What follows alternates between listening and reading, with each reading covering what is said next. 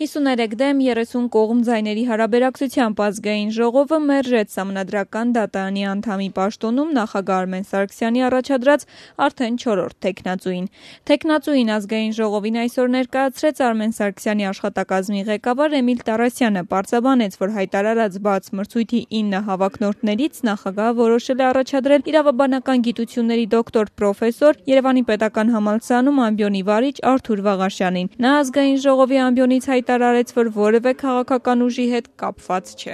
Որևէ քաղաքական ուժի հետ կապված չեմ եւ քաղաքական խարդավանքների մեջ չեմ մտնել։ Առաջադրման որոշումը կայացրել եմ անցած տարի, ընդ որում պրոցեսին այս մասնակցում եմ արդեն։ Անցած տարվանից, երբ որ առաջի տեխնացուի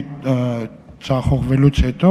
հանրապետության նախագահը հայտարարեց մրցույթ եւ վերստացությամբ լսեցի եւ այդ հեղափոխական ռոմանտիկ, ասենք, շրջանում մայիսին որոշեցի մասնակցել մրցույթին։ Պատգամավորները տարբեր ձևակերպումներով փորձում էին տեխնացուից ճշտել, ինչ վերաբերմունք ունի գործող դատական համակարգի եւ դրա առողջացման նպատակով վերջերս վարչապետի ձեռնարկած գործողությունների նկատմամբ։ Մինչև 100 բալանոց սանդղակով դատական համակարգում կոռուպցիան Վաղաշյանը գնահատեց 60 միավոր որ կգնահատեմ 60 Իհարկե հիմիկվա չափանիշները մի քիչ ավելի շատ, ինչի, որտեվ հիմա ես չեմ ենթադրում, որ այս իշխանության պայմաններում մարդիկ աշխատում են այսպես հին ոճով որտեվ մարդիկ աշխատում են նաև այնպես, ինչպիսի պահանջ են ներկայացնում իշխանությունները կամ ինչպիսին է հասարակական քաղաքական մտնոլորտը այդ երկրում։ Իմ քայլի падգամավոր Վահագն Հովակիմյանը նախ նկատեց հանրային ընկալման մեջ ԵՊՀ-ի իրավաբանական ֆակուլտետը ամենակորուն բացվածն է։ Հետո հիշեցրեց Արամ Սիմոնյանի հրաժարականի օրակարգով փետրվարի 28-ի ԵՊՀ-ի խորհրդի նիստի տապալումն ու հետաքրքրվեց, ինչ դեր է ունեցել Վաղաշյանը նիստի տապալման գործում։ Ես հիմնավորումներ տվել եմ, որ այդ ձևակերպման օրակարգը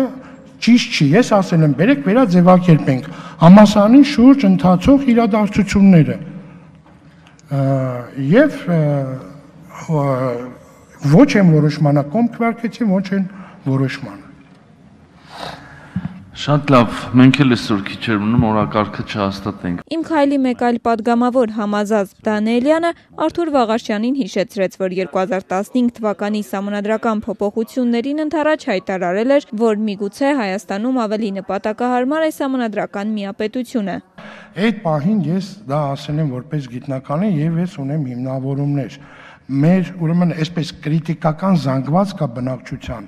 որտեղ ժողովրդավարությունը որոշակյորեն, եթե դու հատուկ ու ամեն օրը ջանքեր չես ապում, որ այդ ոգին պահես մարդկանց մեջ, չի կարողանում իր ֆունկցիան կատարել։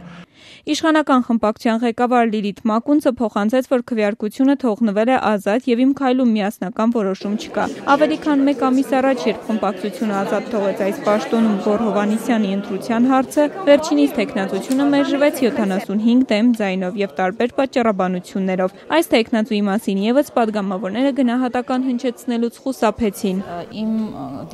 դիտանկյունը նորից եմ ասում, չեմ հնչեցնի, որովհետեւ քվեարկությունը գախտնի է։ Բացի Վաղաշյանից մրցույթին մասնակցած ստացած 9 թեկնածուներից մեկն էլ մարտի 1-ի զոհերի հարազատների ներկայացուցիչ փաստաբան Վահե Գրիգորյանն էր, ում մասին իմ քայլի падգամավորները միշտ դրական են արտահայտվել։ Գրիգորյանի թեկնածության այս պաշտոնում սակայն արդեն մեկ անգամ դեմ է քվյարկել նախորդ գումարման խորհրդարանը, որտեղ մեծամասնություն էր ՀՀԿ-ն, չնայած որ գործադիրում իշխանություն էր Նիկոլ Փաշինյանը։ Հարցը թե արդյոք իմ քայլի падգամավորները մերժում են Արմեն Սարգսյանի առաջադրած տեխնացուներին, քանի որ այդ պաշտոնում հենց Վահե Գրիգորյանին են ցանկանում տեսնել մեծամասնությունը անպատասխան բան է թողնում, իսկ թե ինչպես է, որ արդեն շուրջ 1 տարի այս պաշտոնը թափուր է մնում ազգային ժողովի նախագահ Միրզոյանը արձագանքում է։ Լինում է ելույթ, հարցու պատասխան, եզրափակիչ ելույթ տեխնացուի, որից հետո падգամավորները գալիս են եւ իրենց ստացած տպավորությունը արտահայտում են քվեարկության տեսքով, ինչպես եւ սահմանված է